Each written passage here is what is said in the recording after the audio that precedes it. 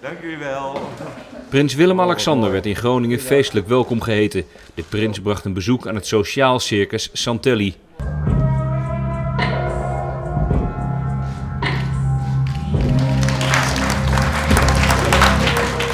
Het circus heeft het initiatief Jong Geleerd, Jong Gebleven ontwikkeld. Hierbij wordt circus als middel gebruikt om kinderen en senioren met elkaar in contact te brengen. Het project wordt ondersteund door het Oranje Fonds. Wij werken met pauwenveren.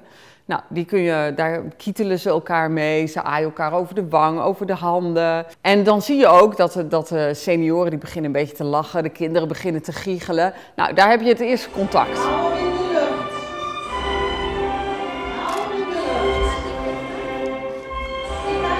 We hebben de bordjes draaien, die, uh, die geven ze aan elkaar door of ze laten hem op hun vinger balanceren.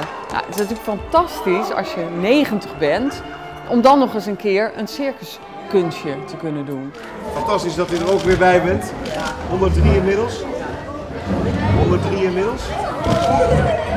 Wordt u nou? Oké, ja. Oh, zo jong nog. Wendela Karsenberg vindt het belangrijk dat kinderen in contact komen met ouderen en andersom.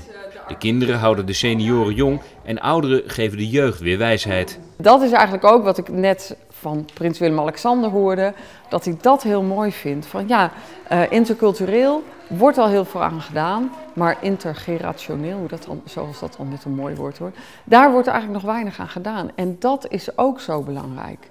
Na afloop van de voorstelling sprak prins Willem-Alexander met een aantal deelnemers. Daarna vertrok de prins naar de Noorderpoort om kennis te maken met het mentorproject van dit regionale opleidingscentrum.